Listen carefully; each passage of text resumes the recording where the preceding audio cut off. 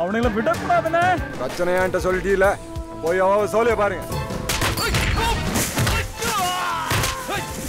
பக்கத்துல அறுவாடும் கழுத்துக்கு பின்னால பகையும் வச்சுட்டு வாழ்ந்த வாழ்க்கை நம்ம பாட்டம் போட்டு காலத்துல போகட்டும்ல. நமக்கு வேணாம். காக்கி சட்டைக்கும் கருப்பு கோட்டுக்கும் பயந்த சாதி இல்லை நாங்க.